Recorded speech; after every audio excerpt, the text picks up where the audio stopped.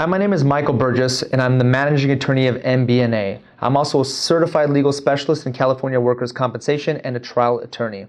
I want to take a few minutes to talk to you about some recent case law. This case is um, Casado versus Kaiser. This is a case that's dealing with panel qualified medical examiners' compliance and whether their their report is admissible um, if they didn't comport with the law and they had an improper legal theory. But before I get into the to the meat of that case, let me lay down some fundamentals uh, for the viewers here.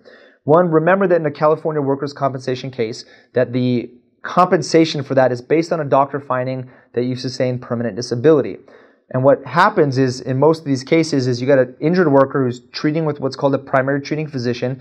That doctor will issue a comprehensive final report articulating what the injuries are, whether they believe they have permanent disability, if so, what percentage, what the causation apportionment is, etc. Now, if that treating physician writes a very good report for the injured worker, pretty much the insurance company or the defendant is going to object and request a neutral state doctor to hopefully find a different opinion and reduce their liability. Uh, inversely, if that doctor writes a, a, bad report for the injured worker, hopefully the injured worker will object and request a neutral doctor. Uh, and if they're represented, that attorney very well should object and request a neutral doctor. But then you get this neutral doctor. It's a state doctor, um, and he's he or she has evaluated your client and they write a bad report.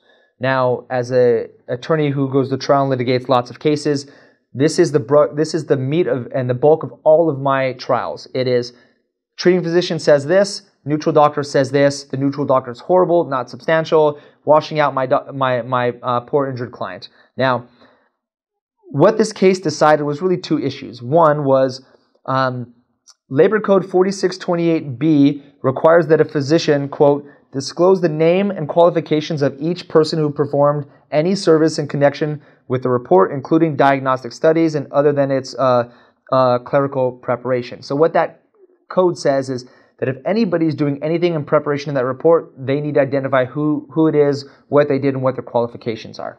And in this case, it looks like the doctor had somebody else do the grip and, and, and other measurements, range of motion uh, uh, testing, and didn't disclose who really did it. Um, and the injured worker's attorney was arguing that makes the report um, not only not substantial, but inadmissible.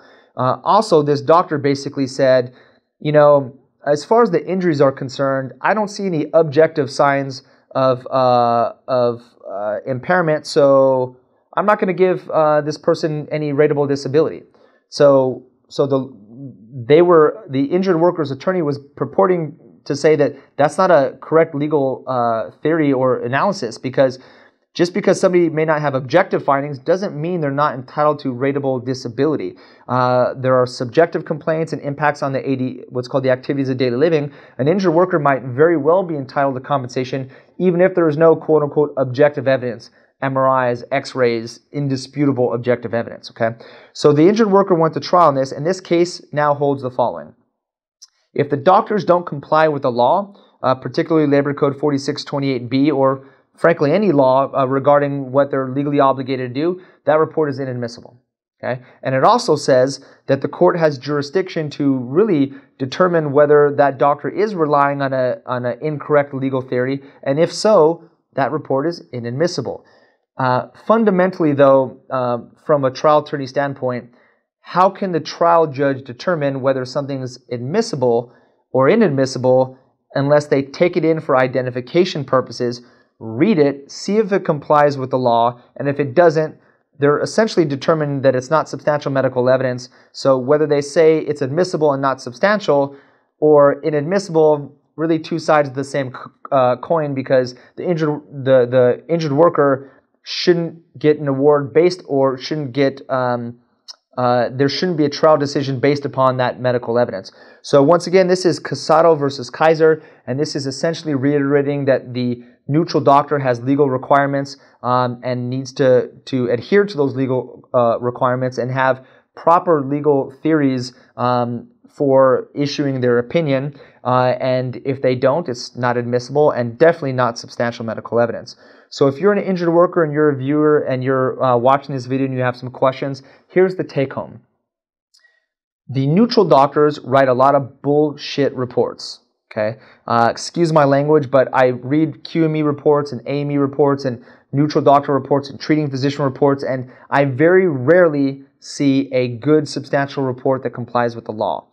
So, what an, a, a, an attorney can do in this situation is they can substantiate one of the reports and go to trial and get the other report that is a bad report for the injured worker who's saying they don't have an injury or they don't have disability or they're not entitled to future medical, a good, sharp trial attorney could substantiate their treating physician and know that they have the tools and case law to support getting that report either not admitted into evidence or thrown out for being not substantial.